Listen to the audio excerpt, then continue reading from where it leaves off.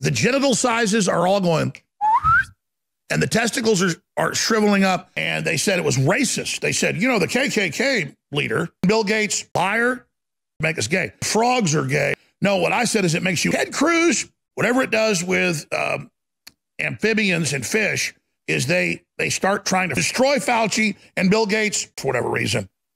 People are starving and America's never coming back. the genitals are shriveling up. Of course, you'll get testicles. Or, so did Ted Cruz order nursing homes that said, we don't want to take Ted Cruz, white people inherently bad, white people are inherently evil, white people deserve to die. Hate crimes against white testicles are that we could destroy gay frogs are, yeah, and we got to kill the old lady and then we she just you know the kkk leader ted cruz will kill old people. Oh xi jinping is the greatest murderer in history. Mm, after mao. Mm.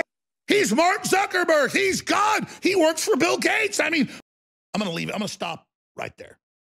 Bunch of women getting let in on dog collars.